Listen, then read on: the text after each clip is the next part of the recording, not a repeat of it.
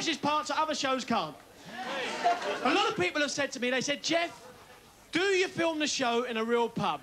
Of course we do. You don't think they let this lot in a TV studio, do you?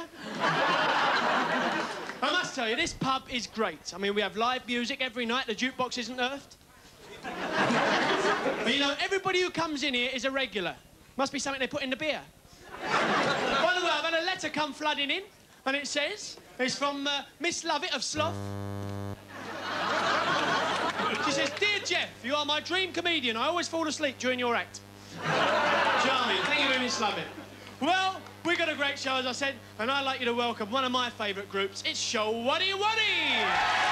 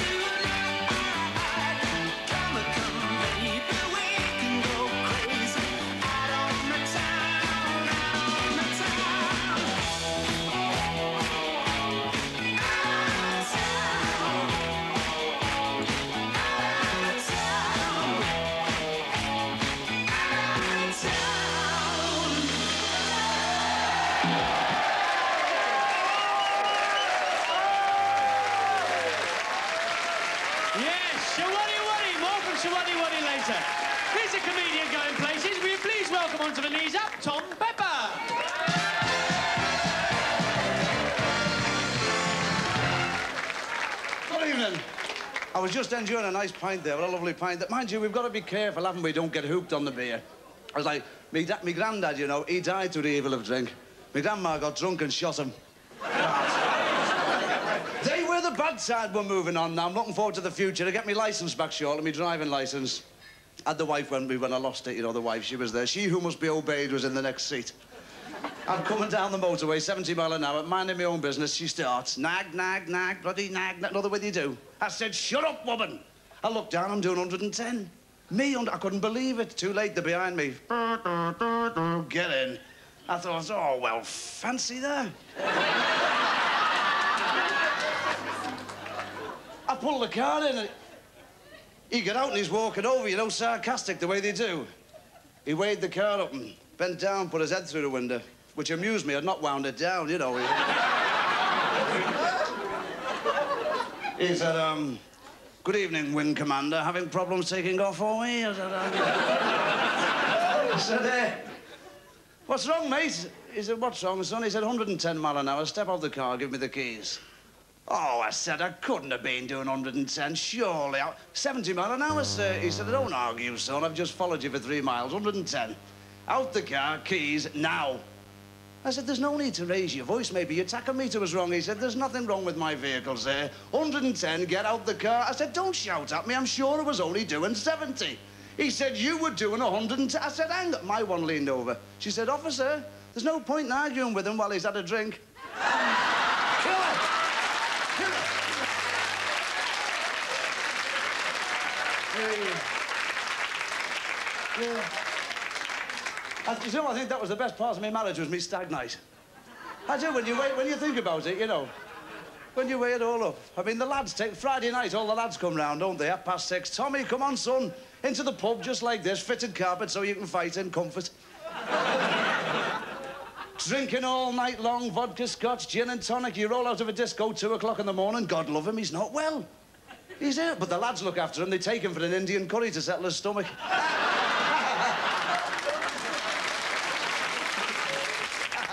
I'll leave you with a thought before I go for all the lads who are considering getting married. If all brides are beautiful, where do all the ugly wives come from? See ya.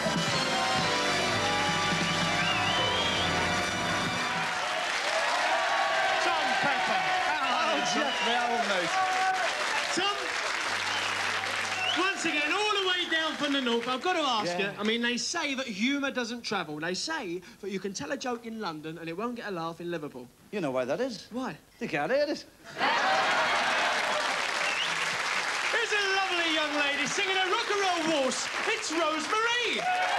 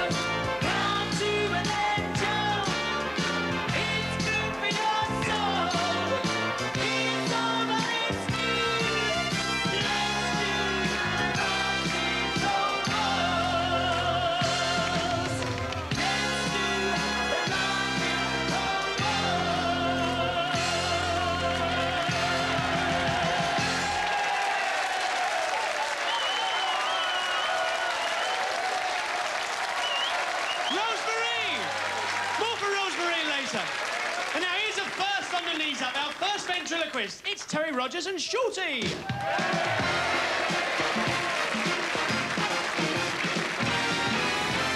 Thank you very much, ladies and gentlemen, and thank you, Jeff, for that lovely introduction. I'm sick of this, I am. I am. I didn't want to come here in the first place tonight, you know. Stuck there like an idiot. I was going to the pictures tonight. I was going to see that film Star Wars. You seen that? I never knew it was a film. I always thought it was an equity meeting. Anyway. What exactly is the matter? Well, all this going for two and a half minutes is ridiculous, isn't it? Well, two and a half minutes is quite adequate, sir. I mean, Sebastian Coe runs a thousand meters in less than that time. Yeah, that he hasn't got two wooden legs in your hand shoved up his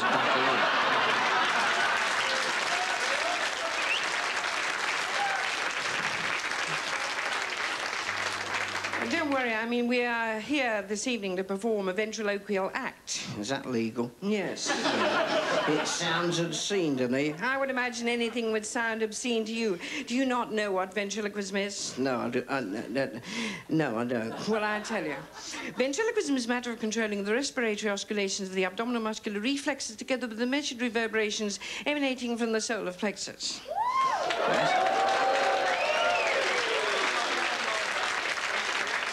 That's not an act, it's a disease, that is. Did you hear what I said? Yeah. Repeat it for the ladies and gentlemen. Hey? Repeat it for the ladies and gentlemen. If you strangle yourself, don't blame me, will you? No. Ventriloquism is an act of controlling the respiratory oscillations of the abdominal muscular reflexes together with the initiative reverberations emanating from the solar plexus and in promulgating your esoteric cogitations, articulating your superficial sentimentalities, I'd say that you were talking without moving your cake hole.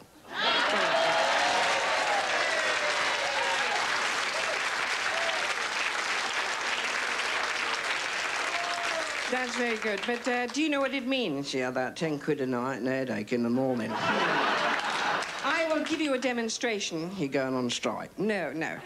You see this bottle? Yeah. I have a spirit in this bottle. You're back on the meths again, are you? No, no, no. Listen very carefully. Out, let, let me out of there. I want to get out. Out, let me out of there. It's not Lord Lucan, is it? No, no.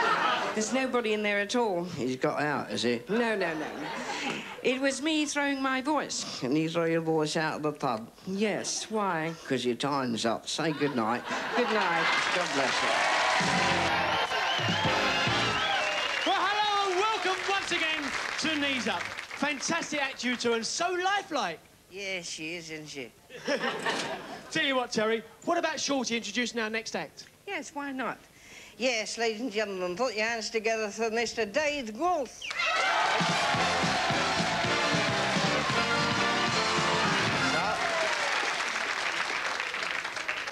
I've just come back from the holidays. I went to the Isle of Man. It's fabulous over there. 75,000 alcoholics clinging onto a rock. I met Quasimodo over there. He has his holidays in Isle of Man, you know. Quasimodo, he never used to have holidays. He went to see Mary in Notre Dame and he said, uh, it good me, Mr. Mer, but I want to go on holidays, say. and I want to go for two weeks or the fortnight, whatever convenient, sort of thing. And Mer said, I'm sorry, Quasi, but don't get the ump, but you can't go, like, because... Uh... He said, we've no replacement for... He said, oh, it's all out. He said, not to worry. He said, I got a replacement. Got a little brother, do you take, called Donny, Johnny, Johnny Modo. And he said, I'll teach him how to twing the bell. So he said, fair enough, Quasi, as long as you show him the ropes. So the next day, he's taking him up to the top of Notre Dame, to the belfry, 140 foot above the courtyard below. And he said, no, Don. He said, what you got to do? He said, you got to twing the bell like that, give it a big twing like that, and when it comes back to you, you got to put Ted down like that, and it hit you on Ted, and it goes down. and it hurts a bit, and you feel a bit dizzy, but it's all right. So Johnny has a go. He swings the bell, and it comes back, and it smashes him straight in the eye. Well, because he said, no, Donny, Donny. He said, I've told you. He said, you're doing the first part correct where you twing the bell, he said, but where you going wrong? He said, you got to put Ted down like that. He said, put Ted. And it comes back and you on Ted and it goes down. and it hurts a bit and you feel a bit dizzy, but it's all right. so he has a gun, another go. He swings the bell and it comes back and it smashes him straight in the nose. By this time, Quasi is livid. Have you ever seen Quasi livid? Hey, Ted Donny. Donny, Donny, Donny, baby. Hang loose, man. I, I've told you twice. Why don't you flip in littered? Are you stupid? He said, you twing the bell right. He said, that part correct. He said, twing the bell, but once you've twung it, he said, I'll never get to Tyler Man and T. Douglas. Once you've twung it, this is where you're going. You're supposed to put Ted there, and it comes back, hit your Ted, it go down. And it hurts a bit, and you feel a bit dizzy, but altogether, it's all right. so he has one last go, gives an almighty swing, and it comes back and it smashes him straight in the face, knocks him out through the belfry, down to the courtyard, 140 foot below. There's two fellas walking past. One says, Who's that? He says, I don't know, but his face rings a bell. Thanks a lot. Good night.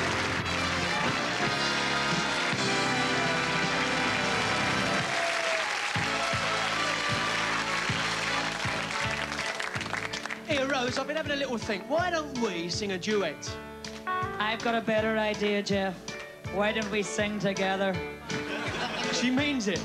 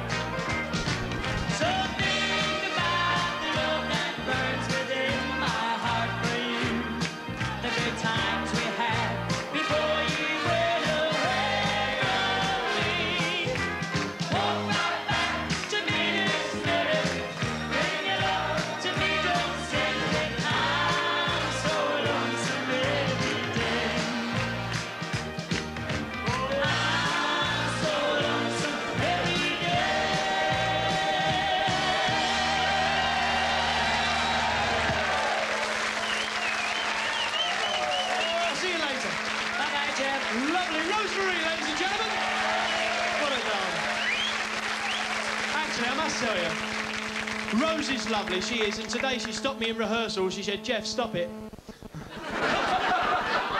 it's lovely to be back in this country. I was out in France last week. I went over on the Hoovercraft. I call it a Hoovercraft because I always pick out a bit of stuff.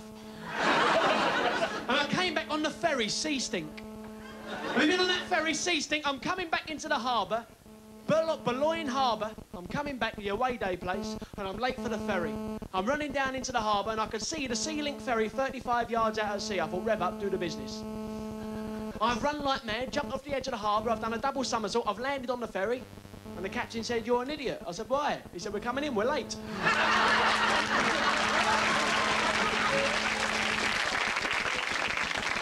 I tell you what, I love travelling on those airlines. I went over to uh, Hong Kong last week. I travelled on Chop Suey Airlines. They're great, those Chop Suey Airlines. They, their motto is, we take away more care of you. it was a cheap airline, it really was. I said to them, can I have some water? They said, no, someone's using the glass. Because I tell you what, I love those air hostesses. One of them said to me, she said, Jeff, have you ever made love above the clouds? I said, yeah, I live in a high-rise block of flats. we're coming into Heathrow Airport, or was it Hong Kong Airport, because we were on the outward flight. And we're coming in, and the captain and the pilot were thick. And one of them said, my God, he said, look at that runway, it's far too short. What are we going to do? He said, well, he said, when we get down there, it's brakes on full pelt. So we've landed, brakes on full pelt. Just made it, end of the runway, inch to spare. The captain said, my God, we're lucky to be alive. At 300 yards, that's got to be the shortest runway I've ever landed on. His mate said, yeah, and at two miles, it's got to be the widest.